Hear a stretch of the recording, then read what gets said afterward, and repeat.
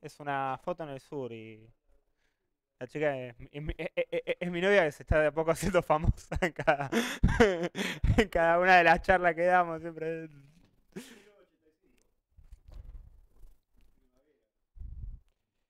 Muy bien, ¿estamos para arrancar? Bueno, bueno, genial. Bueno, hola, ¿qué tal? Eh, mi nombre es Juan Pablo, todo el mundo me dice JP. Eh, y bueno, hace eh, un tiempo que, trabajaba con varios de los chicos armando lo que es la, la, Meetup. Nobleza obliga, alguna vez tenía que hablar de algo, así que les tocó a ustedes, lo siento. bien, la idea de hoy o de esta charla es hablar de, programación funcional y de por qué a un programador JavaScript debería interesarle eh, programación funcional. Entonces, ¿cuál es la motivación de esta charla o, qué es lo que, lo que quiero eh, que suceda, digamos, a, raíz de esta charla? O sea, ¿qué es lo que quiero conseguir? Eh, no es una charla para, para este, tener, este, digamos, eh, un conocimiento súper profundo de algún tema puntual de, programación funcional o eh, inclusive de la programación funcional en general. La idea de la charla es básicamente dos o tres cosas. Una es despertar el interés por el tema, eh, otra es generar una cierta nivelación o, por lo menos aunque sea un, vocabulario común con, lo cual puedan o bien saber qué ir a buscar si están interesados, o bien saber qué pedir para que se charle en una próxima eh, charla de Meetup, en algún tema más específico de programación funcional. Y por otro lado, que sepan de algunas cosas que usan o, podrían usar, depende del caso, eh, en JavaScript, que están fuertemente inspiradas en lo que es programación funcional, y que sepan de dónde vienen. Eh, saber de dónde vienen para mí es bastante importante porque permite sacarles mayor jugo a la cosa. De hecho, eh, puntualmente les sugiero eh, que alguna vez estudien un lenguaje funcional puro, porque permite entender después varias cosas y, por ahí aprovecharlas mejor. El segundo, antes de arrancar, como para generar un poquito más de, expectativa, como a mí me suele gustar, es, hagamos una definición muy por arriba, muy, muy formal, eh, muy semiformal, digo, de, lo que sería la programación funcional. Bueno, básicamente la programación funcional es un paradigma de programación que, por lo menos desde mi punto de vista, se, caracteriza por eh, el hecho de que las funciones son first class eh, citizens, son, se pueden pasar como parámetros, se pueden recibir como parámetros, digamos, son eh, son de primera y no, y no eh, means to an end, eh, como en otros lenguajes Java. Este, y, lo otro que para mí es, importante, del paradigma por lo menos, es que el, paradigma hace un o un bias muy fuerte o directamente un constraint total a, a lo que es la inmutabilidad. ¿sí? La, intención del programador funcional es trabajar con valores y expresiones y que el, resultado del programa sea constantemente, digamos, hacer manipulación de valores y expresiones. El, para hacer una analogía muy, muy burda, el message passing de objetos acá es valores y expresiones. O sea, ese es, el, canal por donde fluyen las cosas. Está muy orientado a la data, pero en ese sentido. Bueno, ¿qué vamos a hacer hoy?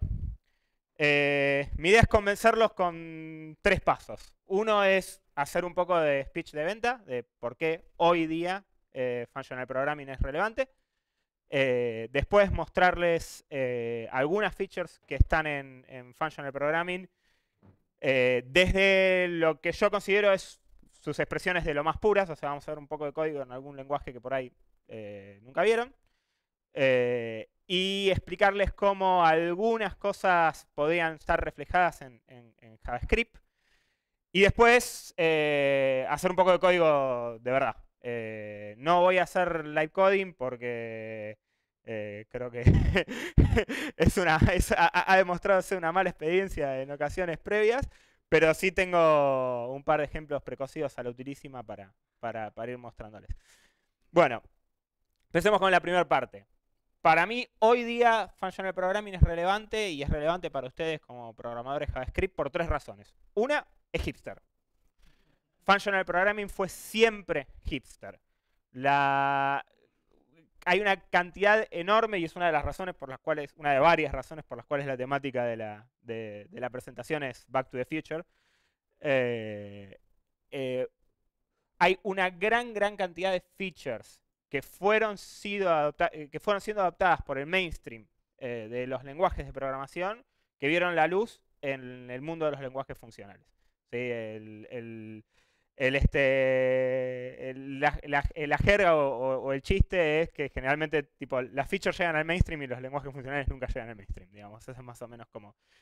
Acá hay como una pequeña, digamos, un pequeño eh, paso por algunas eh, cuestiones. O sea, qué sé yo, por ahí algunas son muy obvias, si, alguna vez vieron eh, programación funcional como pattern matching o, closures por ahí, o generics, pero, por ejemplo, es bastante interesante que, Garbage Collection es algo que primero se pensó, eh, y no puse acá, pero debería haber puesto la inferencia de tipos. La inferencia de tipos pasó primero en los lenguajes funcionales. O sea, el hecho de que yo no tengo que, que yo puedo tener un lenguaje que sea tipado estáticamente y no tener que decirle específicamente a cada, a, cada instrucción de qué tipo es de Java. Eh, este, eh, por cierto, eh, en base a la, charla anterior, es, bueno saber que los programadores, o sea, yo me gano la vida mayormente programando para Android en los últimos años, de, casualidad más o menos, pero es bueno saber que los programadores Android, para Android en HTML5 y JavaScript y qué sé yo, putean a Android exactamente igual que los que lo puteamos los nativos, grosso. Eh, estamos todos unidos. Eh, bien, entonces esa es una de las razones por las cuales me parece que, que, Functional Programming es relevante, porque generalmente las cosas que suelen aparecer ahí suelen ser buenas ideas. Eh, entre paréntesis, es un ambiente también un poco más académico y eso a veces ayuda para, para que esas ideas surjan y se optimicen y demás y, qué sé yo. El segundo asunto es que Functional Programming, a mí por lo menos, eh, yo soy relativamente nuevo eh, en el tema, o sea, no, digamos, tengo todavía más tiempo de mi vida sin eh, programando y sin saber functional programming que programando sabiendo functional programming. Y si encima hablamos de horas productivas en cosas que realmente se a producción, estamos rejugados. Pero haber leído cosas de functional programming me ayudó a desmitificar una cantidad de conceptos sobre qué es necesariamente bueno y qué es necesariamente malo. Por eso la analogía medio, medio pedorra de, Harry Potter, donde Sirius Black era el, malo, digamos, de alguna manera. Y hay muchos personajes en Harry Potter que son tipo malos y terminan siendo buenos, o qué sé yo. Un ejemplo de muchos sería, bueno, no se llega a leer mucho por ahí para los que están en el fondo, pero la recursión nos enseñado en todos lados que es mala, que rompe la performance, que, es una cagada y qué sé yo, y la mutabilidad nos enseñaron que es la piedra angular de la concepción de, la conservación del estado en objetos y nos sirve para todo. Bueno, resulta que cuando ves Functional Programming encontrás montones de lugares donde la recursión es bárbara y no afecta la performance porque hay optimización específica para eso, y donde la mutabilidad te genera 25.800 problemas. ¿sí? Eh, y empezás a entender cómo la mutabilidad es que te daba problemas cuando codeabas imperativo. ¿sí? Eso es lo que está bueno. Eh, otro caso de desmitificación fuerte, que de hecho fue el, momento puntual en el cual yo entré a mirar un par de cosas de, programación funcional, eh, esta fue mi Biblia durante muchísimo tiempo. Es el libro de, Domain Driven Design de Evans. Yo he hecho entrevistas de laburo donde básicamente bochaba a la gente si no decía que esto tenía razón, más o menos. Eh, bueno, en un momento me puse a leer a un flaco que hizo un lenguaje que se llama Clojure, que es un dialecto de Lisp que corre arriba de la JVM, y empecé a leer un par de cosas que el tipo opinaba, y el tipo básicamente lo prendió fuego al libro, más o menos, en lo que, en lo que, estaba, en lo que estaba diciendo. O sea, el tipo dice eh, el, diseño orientado a objetos y, con dominio rico viene de la simulación, sirve para la simulación, lo están aplicando para todo lo demás. Eh, hay montones de casos donde no corresponde. y me hizo repensar un montón de cosas a mí. Me hizo repensar cuando yo les decía a la gente que se estaba equivocando eh, eh, por no confiar en los ORMs y no manejar todo como si fuera en memoria y que tenían que ignorar que la base de datos no era orientada a objetos y que tenía que ignorar que el, get y el post eh, no eran orientados a objetos y qué sé yo. Creo que muchas de las tendencias, vamos ahora justo a pasar esa, esa parte, pero creo que muchas de las tendencias están empezando a darle la razón. Si programaron en Node, alguno de ustedes eh, entiende lo que le digo, que por ahí empezar a hacer acknowledge de que, el get y el post no está en vivo y en directo y de que los accesos a disco no están en vivo y en directo, eh, suma, suma bastante. Bien, la tercera razón por la cual yo creo que Functional Programming es relevante es porque hoy día tiene un impacto directo en escalabilidad. ¿Alguno sabe lo que es BMH? BMH es el patrón más usado en, la historia de la programación para darle escalabilidad a un sistema. ¿Algunos saben de qué les estoy hablando? Buy more hardware. Sí. Esta es la manera en la que escalamos aplicaciones toda la vida. sí. ¿Cuál es el problema? Eh, esto sí lo conocen todos sin que haga ningún tipo de, de, chiste al respecto. Esto es la ley de Moore. Y el problema de esta línea de acá la que no sigue subiendo indefinidamente es la velocidad de los relojes. ¿sí? cada vez le metemos más transistores a las máquinas, pero ya no siguen creciendo linealmente como, como venían creciendo antes. ¿sí? Entonces, el, ahora meto un servidor más heavy, ahora meto... Dejó de ser tan válido como era hasta hace relativamente poco. Estos gráficos no son de, hace 20 años, son de, de la última década. Entonces, esto está pasando ahora o empezó a pasar hace pocos años.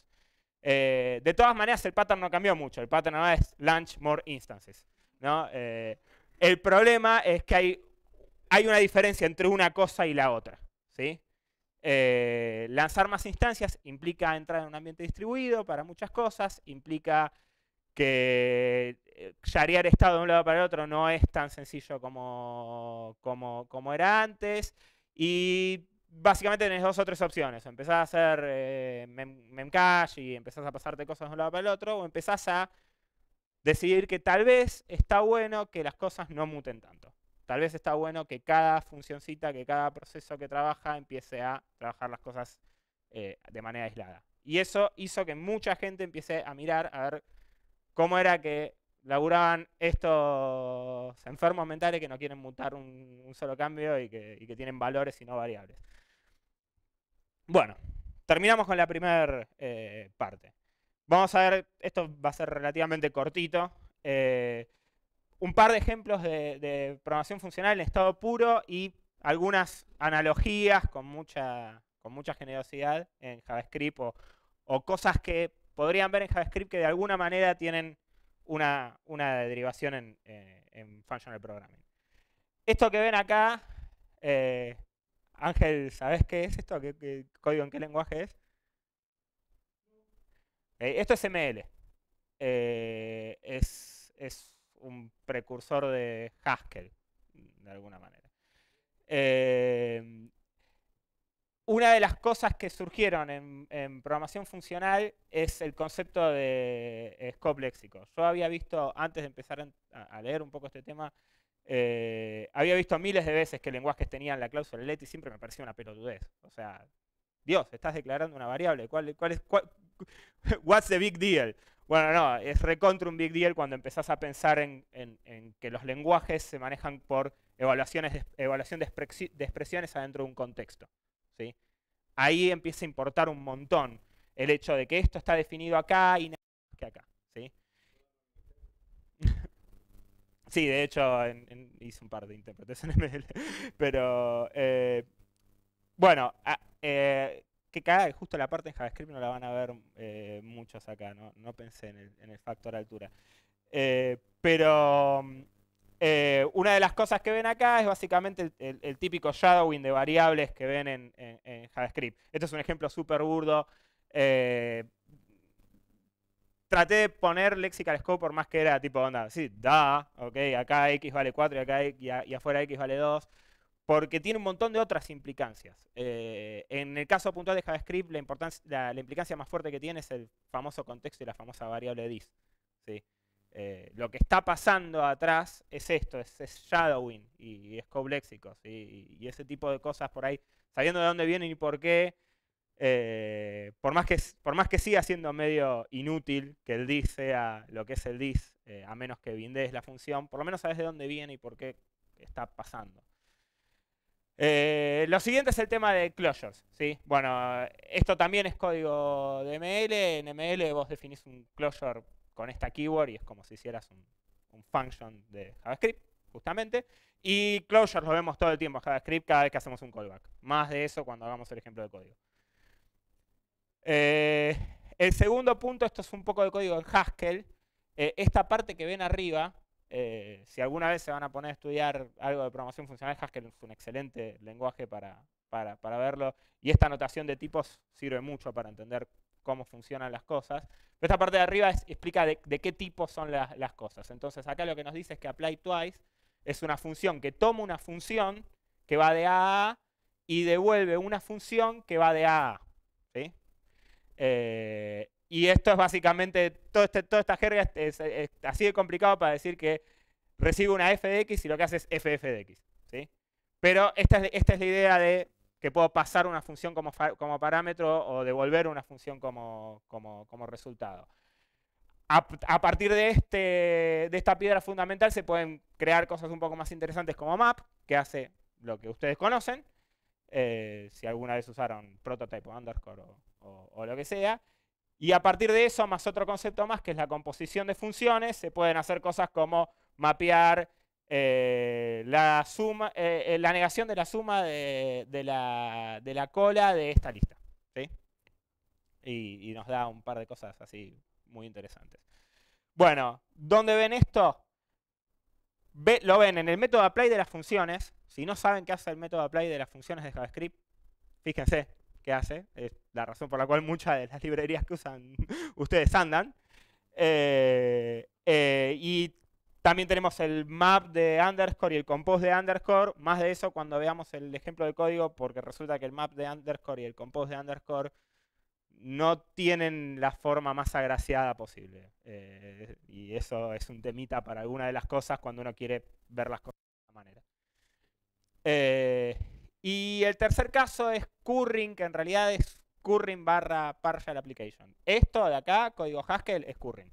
¿sí? La idea es que yo tengo una función que es multiplicar tres números, x y z, pero la puedo aplicar, eh, le puedo pasar solo el primer parámetro y eso me va a volver otra función que puede recibir otro parámetro y demás. ¿sí? Un concepto primo de, de, curring es el concepto de aplicación parcial, que es más o menos lo mismo. Es voy a aplicar algunos parámetros y me voy a quedar con una función que va a esperar los próximos parámetros. Eso lo hace más o menos el underscore partial de underscore, más sobre eso en el ejemplo de código.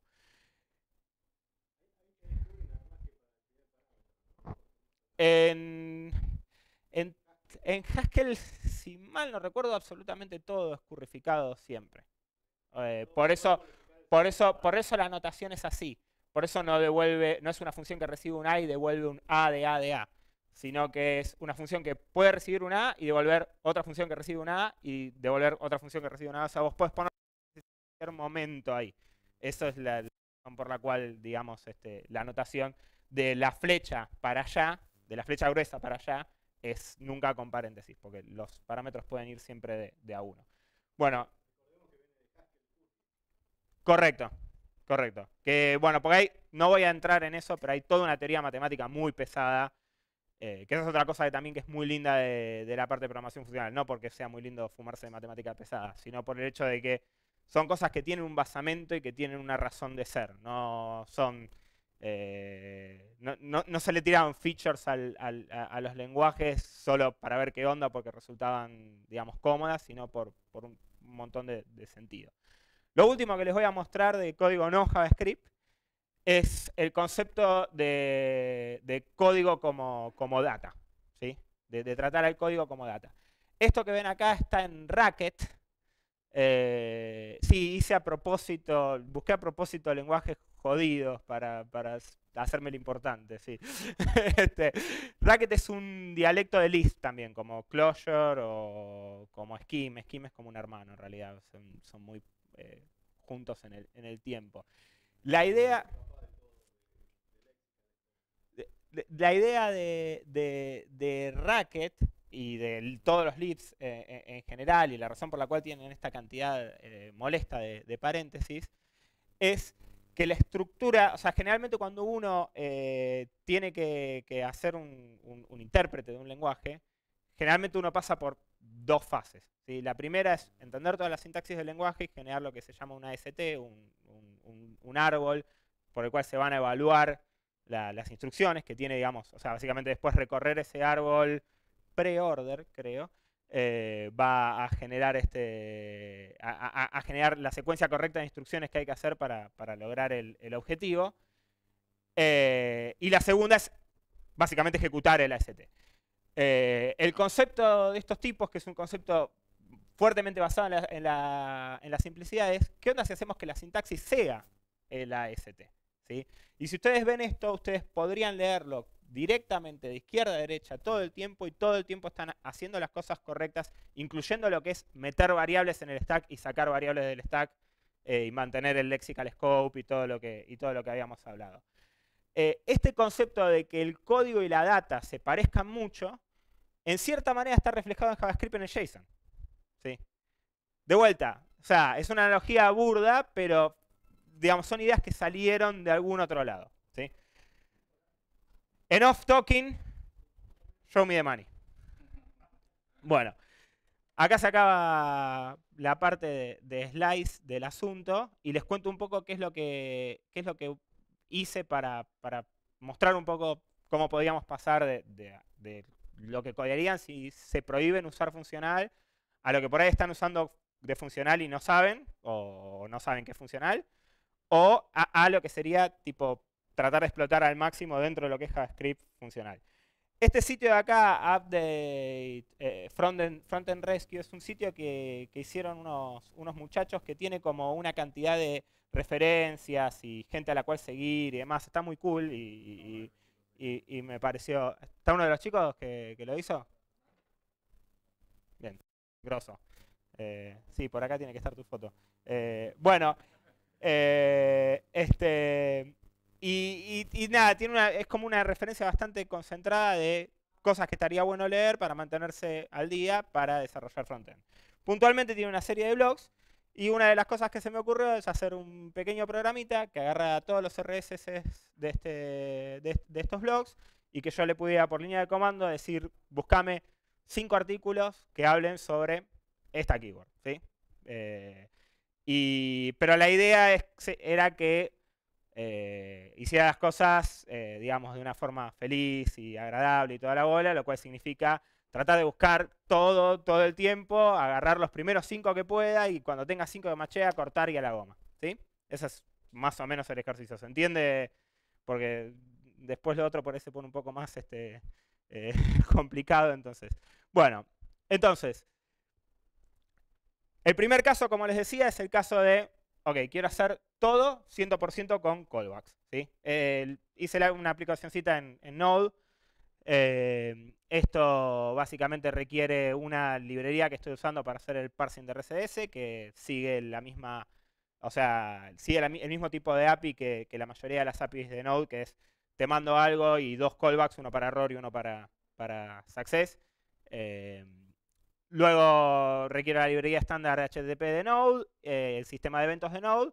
Acá tengo este, una lista de feeds que, tengo que, leer.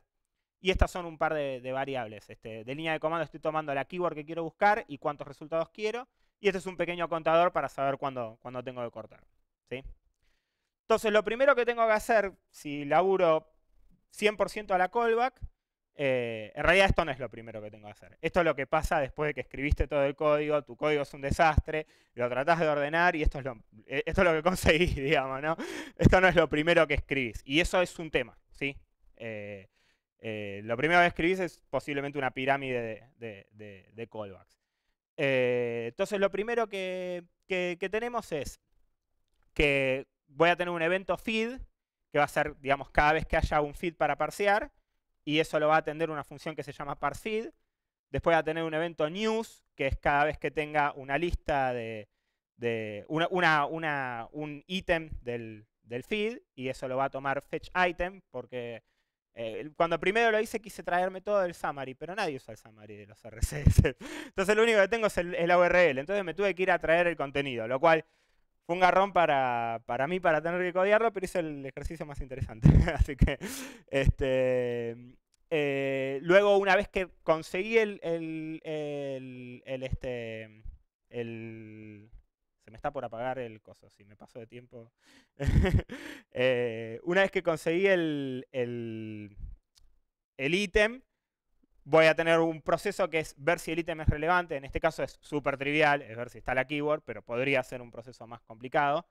Eh, y finalmente tengo un proceso de mandar a, output por pantalla eh, que en realidad tiene un nombre medio, medio engañoso, digamos, porque hace, aparte de mandar a output, es el que sabe cuándo cortar. ¿sí?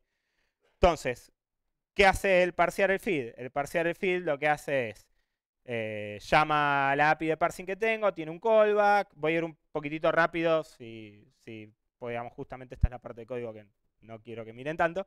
Este, eh, luego itero, me estoy obligando a no hacer nada de funcional, entonces itero eh, itero a la, antigua, eh, le agrego al ítem que, obtuve, le agrego el source y vuelvo a emitir el evento. Después, eh, fetch item lo que hace es, este first off es una funcioncita pedorra que me armé, que lo que hace es, se fija cuál, de lo, cuál, cuál es el primero de estos valores que no, que, tiene, que no es undefined. ¿sí? Eso es porque algunos RCS usan URL, otros, otros ID y otros link. Me traigo la URI, hago un HTTP GET, me voy trayendo todos los chunks de a uno, si alguno programó en Node sabe de qué le estoy hablando. Eh, y una vez que tengo todo, emito el ítem. El select relevant hace algo muy sencillo y cuando lo encuentra, emite de, vuelta el ítem. ¿sí? Acá entiendo que estoy siendo exagerado con los callbacks, porque estoy haciendo callbacks inclusive cuando no, cuando no necesariamente estoy haciendo nada sincrónico, ¿sí? Pero, digamos, for the sake of, again, piensen, piensen que acá eh, podría, podría estar, digamos, yendo a Lucin o, algún otro tipo de, de, parseo más heavy. Eh, y finalmente el último hace una cosa que es una negrada, pero que sirve para el, para el asunto, que es eh, va incrementando un contador, los, los, los, este, los va tirando por pantalla y cuando terminó, dice, listo, rompe todos los, los listeners porque quiero ser un poquitito prolijo y después mata el proceso. Con lo cual lo otro en realidad no, no, hizo, una gran diferencia.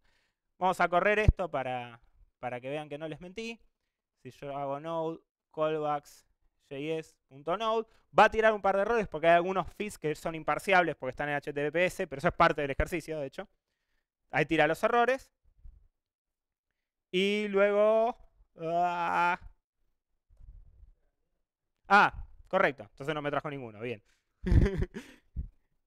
Y ahí me trajo los, resultados que quería. Gracias. Eh, bien. ¿Cómo puedo llevar esto un poquitito más funcional? Me traigo underscore, pero en realidad me traje underscore porque tuve que hacer una manganeta para que extend y map, a esta altura hay un par de cositas más que hice, pero puntualmente para que extend y map reciban los parámetros al revés. Eso es para que cuando hago aplicaciones parciales me sirva para algo. ¿sí? Eh, o sea, puntualmente, por ejemplo, extend recibe lo nuevo que hay, primero el objeto que es destino y después lo nuevo que hay que agregar. Si yo quiero una función que siempre agregue lo mismo, me conviene que el primer parámetro sea lo nuevo que hay que agregar para después poder llamarla varias veces. Lo mismo con el map. Eh, me conviene que el primer parámetro sea la función a aplicar y después el coso. Hay todo una, un discernimiento en eso por gente que sabe mucho más de este tema que, yo y es una de las referencias de la charla. Eh, bien, ¿cómo arranca esto? Esto arranca cambiando la iteración por un each, después es todo lo mismo y después hago un... Eh, acá hago una aplicación parcial para agregar este dato, acá y acá también me eliminé una iteración y un coso con un par de manejos de colecciones. Esto es lo que generalmente usamos cuando usamos underscore, que hacemos map, each y qué sé yo. Si se fijan, no está cambiando realmente el, el asunto. O sea, eh, mi código sigue organizado de la misma manera. Eh, o sea, no, no gané demasiado. O sea, lo único que gané es que tengo un par de forks que son menos error prone y ahora, y ahora lo puedo escribir de una forma un poco más prolija. Pero eso no es lo que quería lograr. Lo que yo quería lograr era algo que eh, me pudiera permitir a mí manejarme con el concepto funcional que es el concepto de que las cosas se mueven como valores de un lado para el otro. ¿sí? El problema fundamental, y hay mucha gente que habló de esto, pero el problema fundamental de los callbacks es que los callbacks no tienen valor de respuesta. ¿sí? Entonces, como el callback no tiene valor de respuesta, el, yo no puedo empezar a encadenar cosas atrás de los callbacks. ¿sí? Hay un patrón que viene del lado de funcional que se llama promesas o futuros, depende de dónde, dónde lo lean. En algunos casos eh, se le dice futuro a lo que acá se le dice promesa y se le dice promesa a lo que acá se le dice difer. Eh, así que si en algún momento lo leen, van a poder, van a tener que, manejarse con eso. Pero básicamente lo que hice fue traerme una librería que se llama Q, que me va a permitir esto, me va a permitir trabajar con, unas... Este, se me terminó el tiempo. ¿Tengo, tengo cinco más? Gracias. Eh, bien, que me va a permitir trabajar con, esto.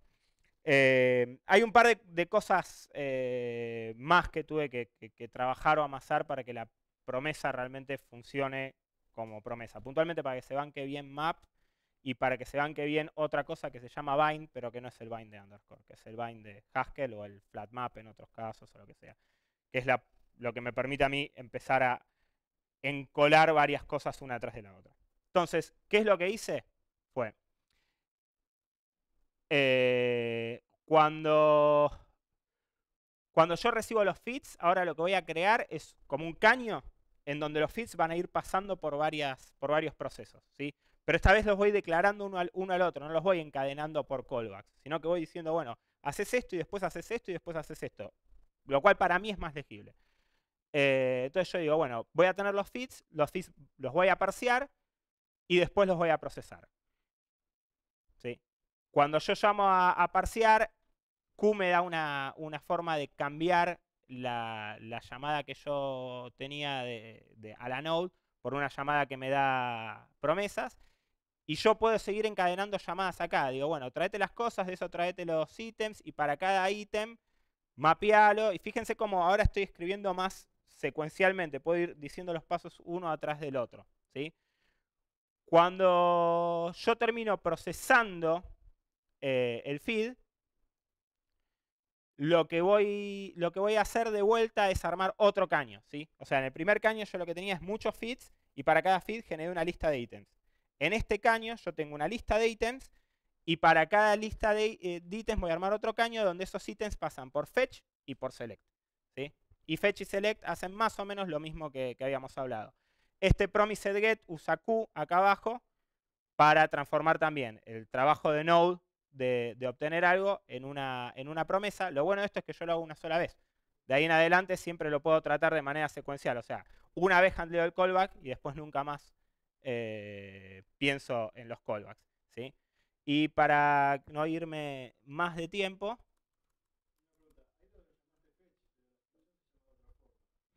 Eh, hice una, hay, un, hay unos aliases que tengo hechos en, algún, eh, eh, en algún lugar acá, donde le estoy diciendo que, es que, promise feed es la versión que recibe promesas de esta, de esta otra función.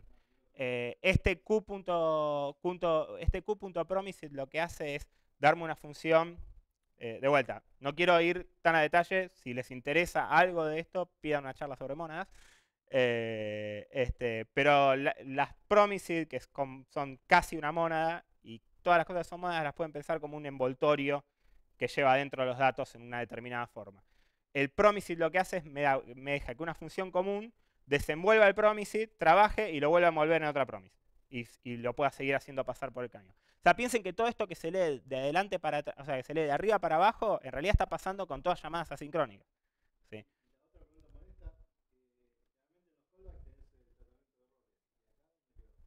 El tratamiento de errores yo lo puedo hacer acá, puedo decir tipo punto .fail y trabajar este, este error ahí nomás, pero también puedo generar un, un handler general para todo, ¿sí? que en este caso dije, vamos a hacer esto. Eh, bien, entonces si yo agarro y digo promises.js y hago la misma búsqueda, ahí me trajo los, dos cosas. Bien, bueno, para cerrar con... Eh, un par de conclusiones y ya termino. Ah, bien. Primero, no digo que tendrían que estar codeando ya mismo en Haskell ni nada por el estilo. Lo interesante es, lo, interesante es saber eh, que estas cosas vienen de algún lado. A mí personalmente cuando hice este ejercicio me sirvió para elegir Q y no otra de las miles de librerías que había de, promesas, porque me pareció que era la que más respetaba la idea original. Y si les interesó algo de esto, lenguajes que pueden estudiar. recomiendo un lenguaje que tenga tipado estático, ML, o Haskell, si quieren estudiar los dos, primero ML porque es más sencillo, y alguno dinámico, alguno de todos los dialectos de, de Lisp. Scala no es el mejor lenguaje para aprender hay buenos cursos de programación funcional en Scala y qué sé yo. No es el mejor lenguaje para aprender. A mí me gusta mucho Scala, pero, pero no, o sea, preferible aprender esto en lenguajes que tengan puramente funcional. Librerías que pueden chequear, todo esto después lo voy a subir a algún lado, posiblemente a mi GitHub, así que no, hace falta que, que lean todo. Cosas que se pueden ver o leer sobre, sobre el tema. Hice foco en las que tenían que ver con JavaScript y las que tenían que ver con este problema de JavaScript. Hay banda de cosas para leer de programación funcional de JavaScript y temas que podrían proponer para, para, para próximas cosas si quieren seguir eh, sabiendo cosas de programación funcional. ¿Preguntas?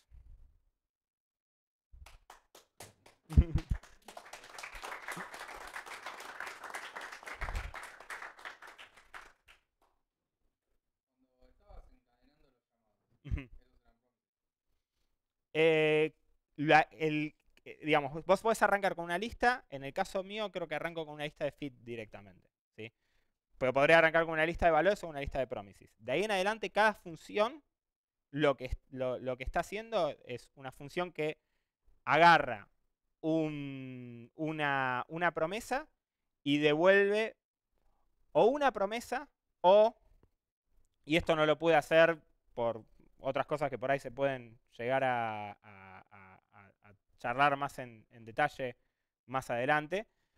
Pero podría estar, por, cómo funciona el bind, podría en vez de devolver una promesa, devolver una lista de promesas. Mi idea original era tener un solo caño en el cual cuando yo trayera eh, la data de cada ítem del feed y hiciera el fetch, ese proceso iba a agarrar una, una, una promesa de una lista y devolver una lista de promesas por cómo funciona JavaScript y su naturaleza de no poderse bloquear absolutamente nunca, eh, que bien mostró cuando hizo el, ciclo de update eh, acá el, amigo, eh, por cómo funciona eso, no se puede hacer, por lo menos usando Q, a menos que el engine con el que estás corriendo soporte generators, que no es el caso. Si yo pudiera tener una función con generator, si pudiera hacer shield, eh, ahí podría transformar mi promesa de una lista en una lista de promesas y ahí hubiera tenido un solo pipe.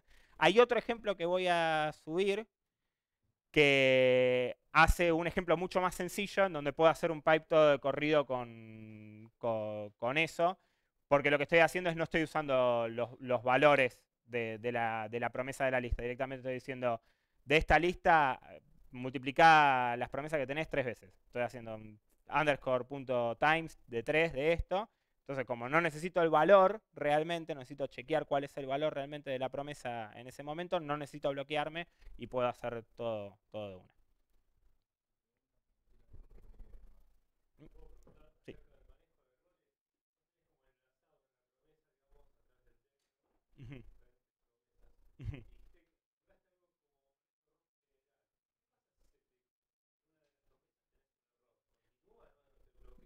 Bien, eso eh, es, una muy buena pregunta. Eh, acá lo que, lo que pregunta es que yo tenía, yo podía hacer handling puntual de los errores o handling general eh, de los errores. Pero ¿qué pasa si yo decidí hacer handling general de los errores y después algo falló en el lugar puntual? O sea, ¿qué pasa con todos los demás procesos que estaban esperando data?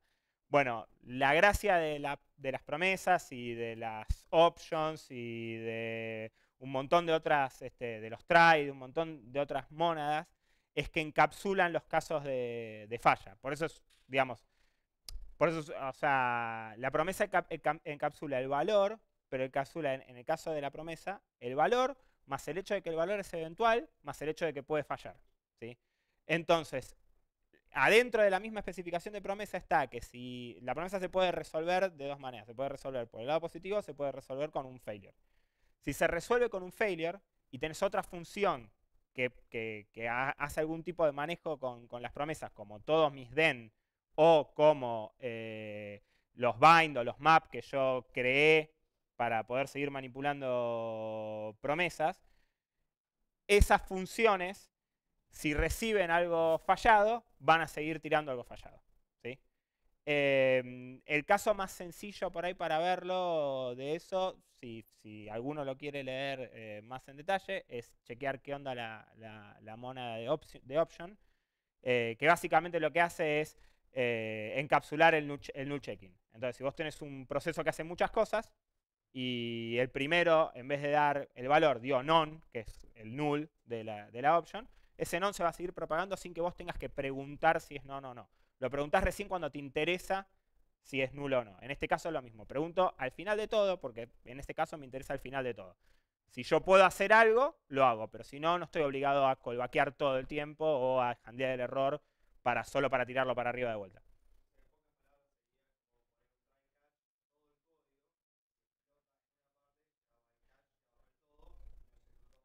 Exacto. Exacto, con la diferencia de que no estoy haciendo un try catch, eh, y, no, y, no, tengo, pero, pero sí, lo que dijo él es, exactamente lo mismo. Es como si todo eso lo, lo tuviera englobado en un enorme try, catch. ¿sí? Y si quiero, puedo tener try catch más, más chiquito. ¿Más preguntas?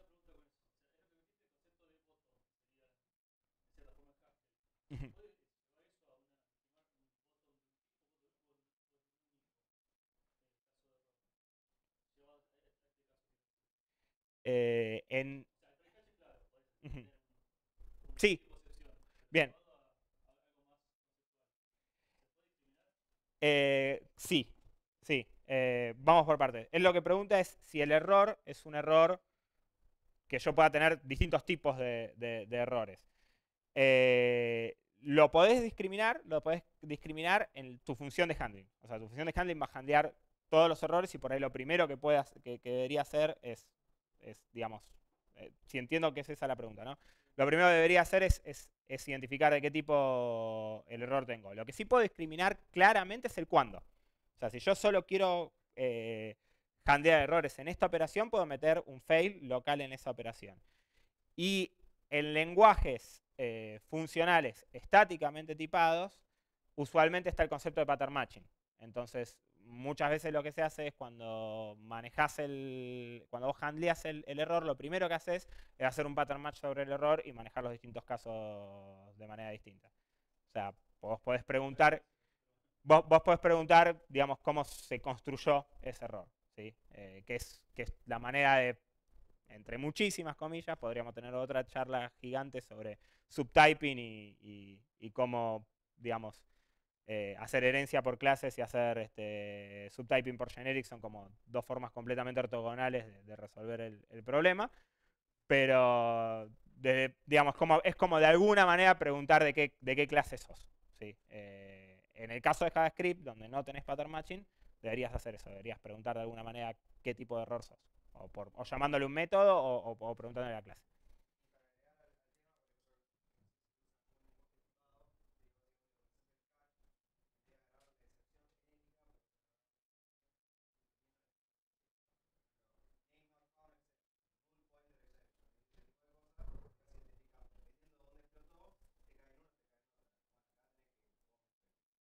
Correcto. Que en realidad es lo mismo que tendría, o sea, eh, tenés que meter el filtro también si usas callbacks, o sea, pues si usas callbacks tenés un solo callback genérico para, para, para error.